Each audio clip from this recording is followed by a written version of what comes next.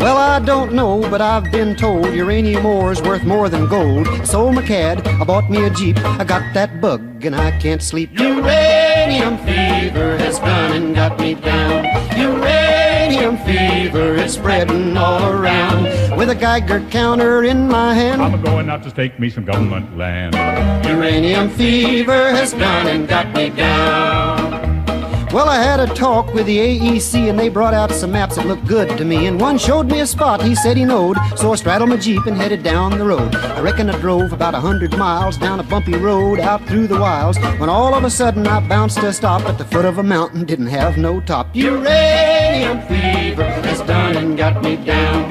Uranium fever is spreading all around. With a Geiger counter in my hand. I'm going out to stake me some government land. Uranium fever has done and got me down. Well, I took my Geiger and I started to climb right up to the top where I thought I'd find a hunk of rock that'd make it click just like I'd read about Vernon Pick. On the second day, I made the top, and I'm telling you, Steve, I was ready to stop.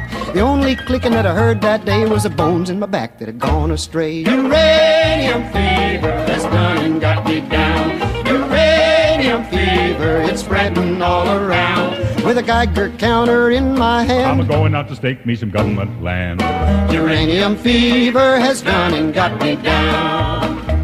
Well, you pack up your things, you head out again into some unknown spot where nobody's been. You reach the spot where your fortune lies. You find it's been staked by 17 other guys. Well, I ain't kidding, I ain't gonna quit. That bug's done caught me and I've been bit. So with a Geiger counter and a pick in my hand, I'll keep right on staking that government land. Uranium fever has gone and got me down. Uranium fever is spreading all around. With a Geiger counter in my hand. I'm going out to stake me some government land. Uranium fever has gone and got me